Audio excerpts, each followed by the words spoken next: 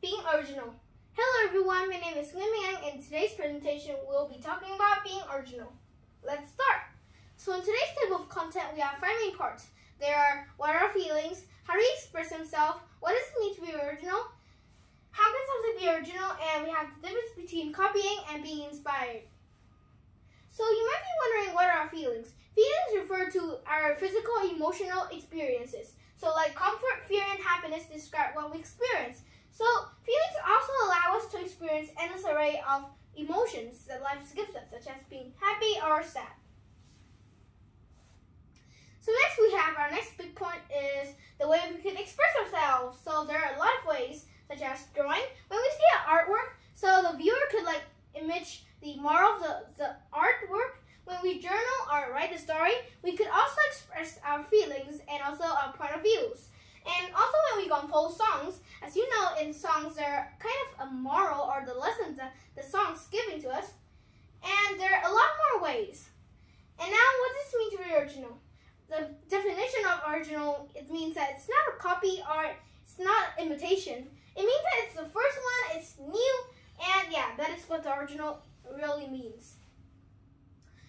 So here we have how can something be original? So like here we have some songs such as The Hallelujah by Leonard Cohen. We have Diary of a Wimpy Kid by Jeff Kinney. The Mona Lisa by Leonardo da Vinci. And we have The Eiffel Tower. So what do all of these have in common? They're original. So like these are all the original artworks, landmarks, books, or either songs. So what are the difference between copying and being inspired? Let's talk about copying first. So in the window of the world in Shenzhen, they copy all the famous landmarks all over the world, such as the Eiffel Tower, the Pisa, and a lot of other things. Here we have they copy everything and copy everything except for the size and places. And the difference between copying and being inspired is this. So you can recognize this, right? Yes, it's a Starry Night by Vincent van Gogh, and it's an original piece of art. And here we have the Great Wave of Kanagawa. Kanagawa.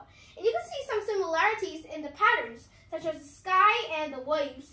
And so, and so the art, the, um, the artist Vincent van Gogh takes some inspiration, a little inspiration from the Great Wave of Kanagawa.